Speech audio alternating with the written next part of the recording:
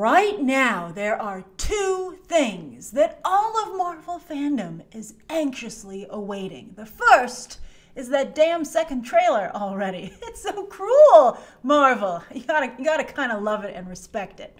But the second thing is that we want to find out who's going to die in Infinity War. Because Feige has been promising consequences in Infinity War for quite some time now. And we've been on death watch since after Civil War, especially because we all expected Steve to die at the end of Civil War because he did in the comics. But then he didn't. Instead, he went full Flynn Rider, uh, and that means a smoldering outlaw who actually isn't that dangerous and hangs out with a sassy blonde who spent a large part of her life as a brainwashed prisoner. Oh my god, the analogy fits so well. I love it. All right, so anyway, while other characters could die during Infinity War or come back to life, I think we're getting pretty clear vibes at this point that either Captain America or Iron Man dies. It's going to be one of the two. In fact, when I recently told a friend, a casual Marvel uh, movie fan, that someone dies in Infinity War, she's a big Iron, uh, Iron Man fan like myself, and she immediately got very quiet and said, they're going to kill off Tony Stark, aren't they? You just have that feeling, right? Like he's overstayed his welcome. I think even RDJ knows it at this point.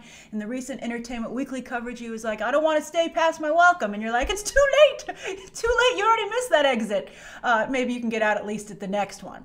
Uh, and you know maybe whatever storyline they come up with, or at least far, as far as Robert Downey Jr. is concerned, he feels will redeem him. And then also my friend and I after that had a good laugh about how being an Avenger really hasn't worked out for poor Tony. He just wanted some friends with similar interests. He even paid for everything to try and get everyone to like him, and it didn't work. I feel really bad for Tony. So anyway, today we're going to break down the odds of who will die in Infinity War between Iron Man and Captain America. And I look forward to hearing your theories down below. And I'm incorporating all the latest information, including um, uh, some leaked promotional art from yesterday. All right, so we're going to start with Iron Man.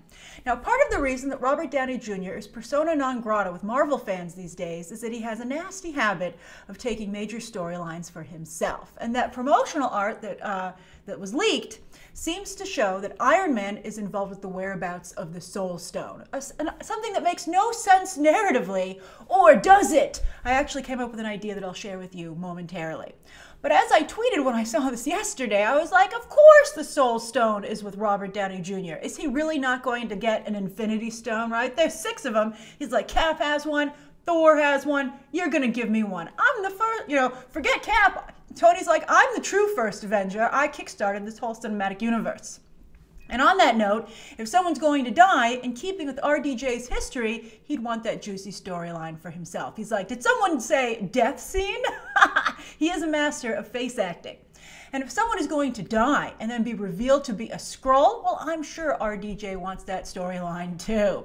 And history has also shown that what RDJ wants, Kevin Feige will give him. Even back in the day, I don't know if you remember this, but Robert Downey Jr. was looking at the big Avengers light up A that was on the side of, uh, you know, uh, the, the, tower, and he was like, "What are you gonna do with that? I like it," and they actually gave it to him for his office. It's, a, I think it's on the outside, or was on the outside of the building. Amazing. So how could it go down? Well, one of you already floated the theory that I like a lot, that Tony could sacrifice himself to save Peter Parker, building beautifully on the father-son relationship that's been developing over the course of Civil War and then, of course, Spider-Man Homecoming. And Robert Downey Jr. himself has said that Tony feels responsible for bringing Peter Parker into the superhero big leagues, plus that Tony's biological clock is ticking. Now, he could ride off into the sunset and start a family with Pepper, or maybe his regret, his regret over never having a child of his own could intensify his uh, protective instincts with Peter, and therefore he would again sacrifice himself. Also, this is the big thing. What if the Soul Stone is a soul? It makes such sense when you think about it right? Does someone have to die to unleash it?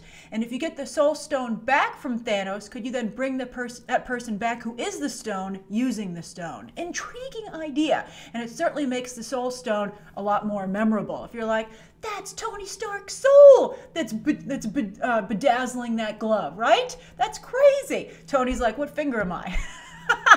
I gotta be one of the big ones. All right, so anyway, and I think that would be a really cool moment when Thanos rips the Soul Stone out of Tony's chest. Is he going for the arc reactor? No. He's going for Tony's soul, the final piece of the puzzle. And also, as I said, Tony could also come back via the Secret Invasion storyline, right? Soul gets ripped out, Thanos walks away and they're like, holy crap, Tony turned green with a wrinkly chin. I think it's great.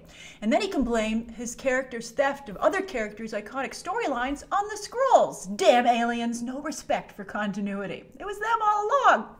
All right, so that sounds pretty intriguing. Now, as for Captain America, of course, Cap is the one who famously dies in the comics, and it would be nice to see one of his most famous storylines, he doesn't have a lot, incorporated into the MCU. And also, let's be honest, Team Cap far outnumbers Team Iron Man these days, and a sacrifice from Steve will be felt far more by audiences than one by Tony. Case in point, Tony recently died in the comics as well during Civil War II, a cash grab if there ever was one, and nobody batted an eye. But if you want a gut punch to the audience, if you want to go Pixar level in terms of emotional uh, manipulation, have Steve sacrifice himself. There won't be a dry eye in the house, or at least most of the house, Well, uh, Team Iron Man fans go. Well, I don't know. I, I really have a lot of respect for the storyline in the comics, and I would also like to see it play out. Also, while many are quick to point out that Tony is responsible for the deaths caused by Ultron, Steve is responsible for those uh, Wakandans killed by Wanda, uh, something you know he's never taken responsibility for. And just like in the Civil War comic, Steve therefore has a debt to pay, and he is much more the type of man to pay his debts than Tony, which is why he has so many fans these days. Now, Tony could always sacrifice himself for Steve, not for Peter. The ultimate way of showing Steve he forgives him for Civil War. Then, if Tony is revealed to be a Skrull, or if you have to get the Soul Stone back to revive Tony, right? Either one of those scenarios, Steve, being the stand up guy that he is, and because everything's good between them now, he would go in search of reviving Tony or finding the real Tony in Avengers 4. Uh, but to have Tony steal the Death of Captain America storyline right from Cap in front of Cap, I don't know how fan, uh, Cap fans would feel about that, or any Marvel fans uh, for that matter. I think it would be the ultimate stealing of another character's storyline. It might be just a step too far. But I don't know if that would stop RDJ. I really don't. So, which of these two do you think will die? And who do you hope will die? And not just because maybe you want them out of the MCU, but because maybe you believe it'll be a great cinematic moment and you want it for your favorite character. I, I think both of the scenarios that I've described here sound pretty darn compelling. I'd be down to, it's like almost a choose your own adventure. Which adventure do you choose here? and then also, it could kickstart an amazing storyline. So, I'm very curious again to hear your thoughts down below. Uh, and of course, as always, you can check out some more videos right now.